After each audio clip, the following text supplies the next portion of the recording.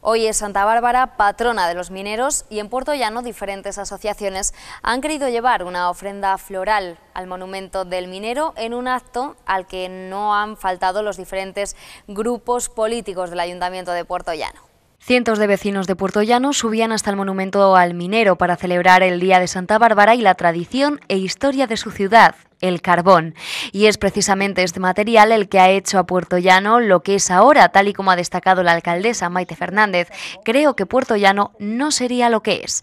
El carbón sigue dando alegrías a la ciudad minera. Puerto Llano está dentro de las comarcas mineras y han conseguido una inversión de 8 millones de euros para seguir con el crecimiento de la ciudad. Yo creo que el análisis, la reflexión que hacemos siempre en torno al Día de Santa Bárbara tiene que ver con nuestro origen. Puerto Llano no sería lo que es hoy si no hubiera nacido de las entrañas de la tierra. Sin haber encontrado el yacimiento de carbón, Puerto Llano seguiría siendo una pequeña aldea dedicada a la ganadería. Sin embargo, Puerto Llano explotó bien los recursos, los recursos naturales y hoy, aunque no se extrae carbón, sí que el carbón nos sigue trayendo buenas noticias, nos sigue trayendo inversiones, nos sigue trayendo un afán de superarnos, de participar en esa transición energética que se está planteando en todo el mundo y que desde luego nos mantendrá siempre a, la cabeza de la industria. Yo creo que lo más importante de hoy, como decía antes, es reconocer nuestros orígenes, eh, ser agradecidos con lo que la naturaleza nos ha dado y seguir explotando los recursos naturales, en este caso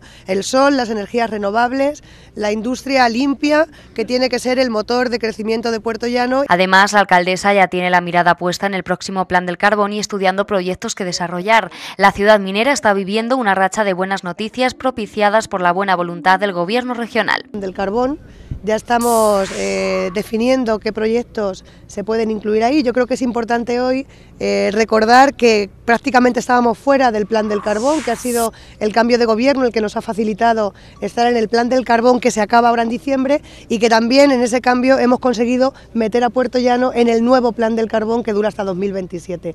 Ahora estamos trabajando en los proyectos. El resto de, de las iniciativas europeas que citó la ministra todavía están por venir y están por definirse y también saber hasta dónde se va a participar. Lo que tengo claro es que hay una voluntad eh, decidida de apoyar a la industria, también a las comarcas como Puerto Llano, que hemos perdido empleo por los cambios en, el modelo energético y que desde aquí tenemos que seguir peleando por ese mix energético porque le da sentido también a la configuración que tenemos en esta ciudad.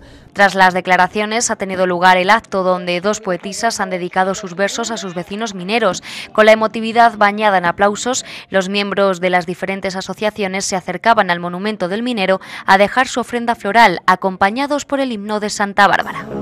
Santa Bárbara bendita,